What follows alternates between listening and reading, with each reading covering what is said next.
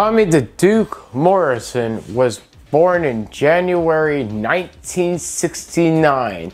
This is Tommy the Duke Morrison's shirt and I would love to do a review on this. Now this came from his lovely wife. Trisha said this is one of Tommy's shirts. If you guys don't know who Tommy the Duke Morrison is, okay, Tommy was a pro fighter. Tommy the Duke Morrison started in Rocky 5 as Tommy Gunn. And not only that, he was also, uh, you know, related to John Wayne.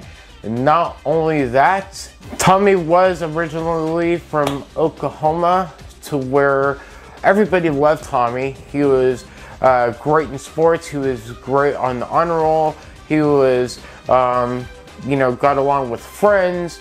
Then he moved on from high school to bigger and better things in the boxing world. And, you know, um, Morrison was a really big name in Oklahoma back then because you had Tommy, you had his family's name. Now, when in the boxing ring and he was in fights, he would destroy men half his age. And he had one hell of a hook shot that really just took his opponent out. And it was really one of a kind. And that's what made him so talented, besides being a fighter and all. Now, one thing that Tommy did when he was, uh, you know, growing up and fighting, he wanted to get an amateur, so he forged a fake ID. And not only that, Tommy had over 290 wins and he was really, really great at when he was, you know, in the ring as well.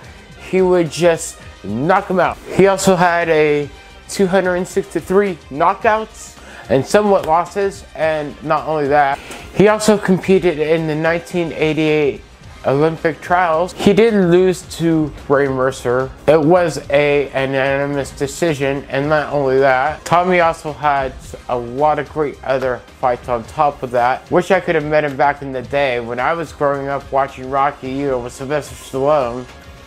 But if you want to see some of Tommy's fighting, go look at some YouTube videos or if you want to see more of his awesome fighting techniques, you know, go check out Rocky 5. Rocky 5 is, uh, people call it one of the worst movies of all. Sylvester Stallone didn't like shooting it.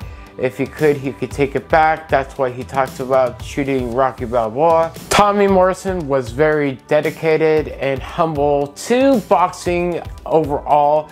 He would work hard, train hard, he would go at it, and not only that. So after being in a movie, after you know, having a boxing life outside of the ring, Tommy did live a life to where his health did take a toll.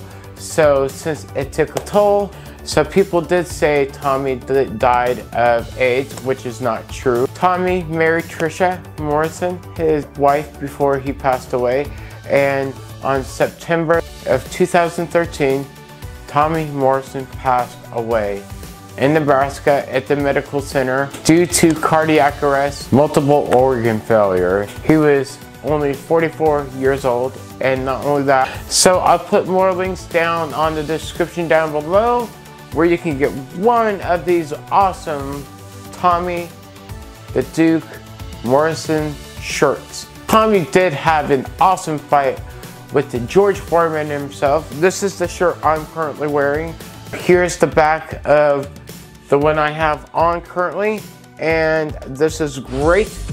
So I thank you very much Trisha for sending me this shirt and I love it and I plan to get more. My name is Chris. Thank you for watching and take care y'all. Bye for now.